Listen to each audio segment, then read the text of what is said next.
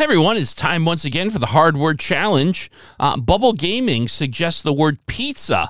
I love pizza and I love hard word challenges. So this is going to be a perfect episode.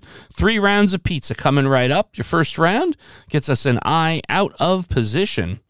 Uh, so let's see. How about uh, what can we try next? You know what? Let's try knife. You use a knife to cut a pizza. What do we get here? Knife gets us an E locked in the position, and the I is now going to be either in the first or the um, fourth position. Uh, hmm, interesting. Interesting. Uh, I think I'm going to do an evaluation word here. And I think I am going to do, how about uh, story? Lots of quality letters to look at here. Oh, well, we have an O now. also out of position. We have three vowels involved here. Uh, these always get interesting. Uh, hmm. I was going to say, I look, olive obviously is because the I is not in the uh, third position. Now I feel like I want to, my next spot here is to figure out where the I is quickly. Oh, you know what would be interesting? Here's an interesting evaluation word. If I did the word idiot, I look at the O in the fourth spot and the I in the first. So I'll definitely know where the I is. Uh, I'll you know check out the D. Um, so there you go. Let's let's do that as evaluation for some intel. Oh, so okay, so we know the I is in fact in the uh, fourth position here. Interesting. Um, and we know the O has to be in the first or second. Uh, I don't feel. Well, let's do a visualization. Let's not uh, uh, so if we put the O in the second spot, here's what we've got. Oh, could be Moxie. could be movie. It's probably more likely to be movie than Moxie. Um, so if we do movie, we'll definitely have the O locked in for the last guess. Oops, let's actually type it in. And there we go. Okay, Woo, got it right in the nick of time uh, close to it. All right, so movie it is. And that's our first round. Let's move to the second round of pizza. And what's better than a second round of pizza? Like and subscribe to this channel. Even better than pizza, folks.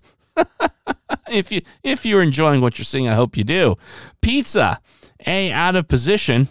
Uh, so let's see. How about um, we'll do adore. Okay, so adore gets the E uh, locked in in the fifth position, and the A is still floating around. Uh, it's in the second, third, or fourth position.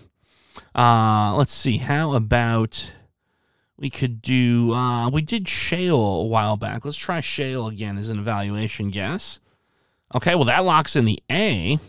So we have the A and the E locked in the third and fifth, respectively. We have an S that's going to be either in the second or fourth. I feel like it's probably going to be in the fourth. So a quick um, visualization has an ASE here. We could have um, the S could be in the second spot. Let's take a look at a visualization for that. XSA, XE. How about the word usage? Usage would work. Let's try that. It'll lock the S in, um, almost certainly. Let's try that. It will lock the S in by process of elimination. And there it is. It's usage. All right, so we got it. Um, you know, an evaluation guess. So one more round of pizza coming up here, folks. Last round of pizza, and that gets us an I out of position. Okay. Uh, how about we try? Let's try the word slide. The I is now locked in to middle position.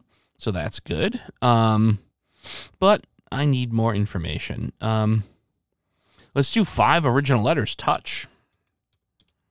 Not, not. Oh, that gets me the T and the C locked in. Uh, and it also has the H locked in, T H I C. So I think that is going to be pretty easy. Thick. There it is. It is thick. Just like some good deep dish pizza. It is thick. And so, um, Bubble Gaming, thank you so much for the pizza. I do appreciate it. Uh, and of course, as I said before, uh, I'm sure you've already liked and subscribed because I made an adorable joke earlier. Uh, but if for some reason you haven't, uh, please consider doing so. I do appreciate it.